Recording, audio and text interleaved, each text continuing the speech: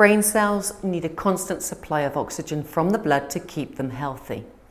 So, when they are suddenly cut off, areas of the affected brain become damaged or at worst can die.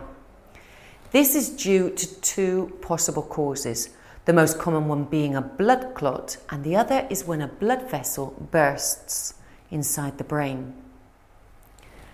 As different parts of the body are controlled by different parts of the brain, the symptoms can vary depending on which part of the brain has been affected. A study that I have found to be rather interesting has shown that auditory rhythm has a profound effect on our motor system.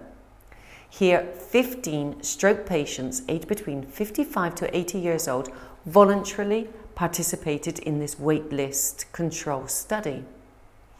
The aim of this study was to demonstrate the effects that rhythmical auditory stimulation has on hemiparetic stroke patients. What they did was to divide the 15 patients into three different groups, and they were all to receive treatments of music therapy. One of the groups received rhythmic auditory stimulation during the entire 30 treatments. Group 2 only received this treatment in the last 20 sessions with their other gait therapy, and Group 3 had it only in the last 10 sessions. Right from day one, the patient's measurements for the cadence and balance were taken, and then in the following 10th, 20th, and 30th treatment session.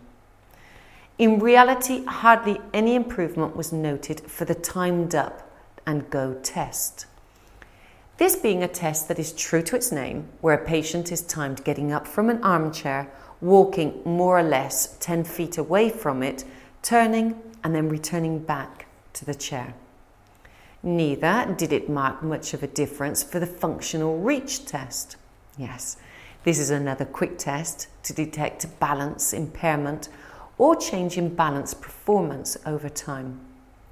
Yet, and importantly, significant improvement was seen in all of the conditions for one limb stance, cadence, velocity, stride length, and posture head tilt.